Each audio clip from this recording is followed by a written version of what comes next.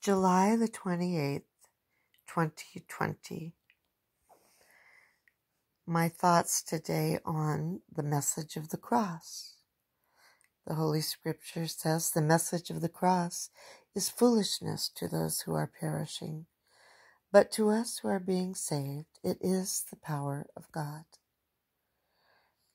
These thoughts came to me today about the message of the cross. When our Lord was on the cross and he commended his spirit to the Father. Before he died, he prayed for his people that he loved, that he was dying for. Up into his last breaths, he prayed, Father, forgive them, for they know not what they do. He prayed for his enemies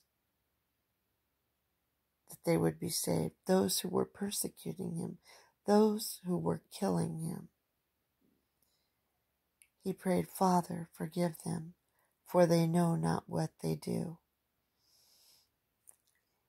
And I ask the Lord today, please, when my time comes and I'm dying, that I would be like our Lord and pray up into my last breaths.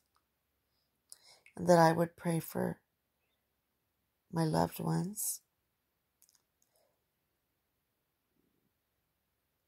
whether they're loved ones who are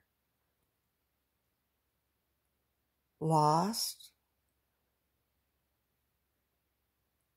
that I would continue to pray for them up into the last moments of my life, or anyone that's difficult that I love, that I would continue to pray for them. That I would be like Jesus and pray for my family and my loved ones. And of course, our Lord was praying for those who were persecuting him. And should I suffer persecution at the time of death, I want to be able to have the loving heart of our Lord and pray like our Lord.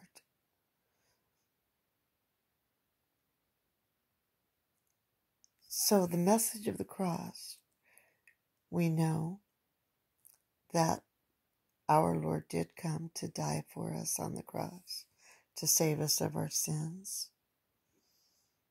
He sacrificed himself for us, the perfect, pure Lamb of God.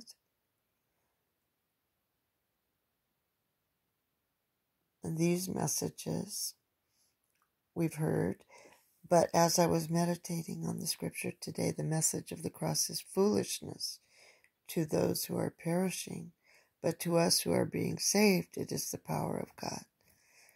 I received a message that our Lord, while he was dying, was praying.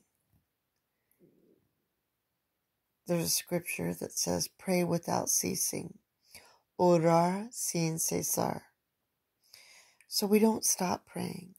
So our Lord sets the example for us. And on the cross, I get a message that when we take up our cross and follow Him, when I'm at, some say death's door, I want to be able to have faith and pray and commune, communicate with God the Father. I want to commit my spirit into my Father's hands, my Father in heaven. I want to pray for anyone that's lost.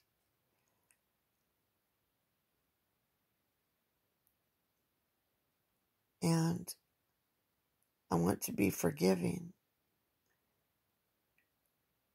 when I'm taking up my cross. The cross was the means, or one might say the, the method by which our Lord was well killed. They killed him on the cross. So when, but it was the way in which he died. He was 33 years old and 33 year old healthy Lord and Savior. He died by being uh, persecuted, uh, whipped with the cat of nine tails. Um, and then he hung on a cross, which was a horrible way of dying. And unless the Lord comes before I die, I know there there will be a, a time to die.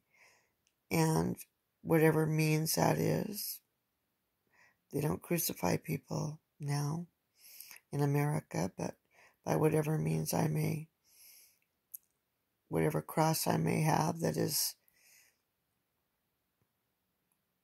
the way I'll die, which I don't know what that will be.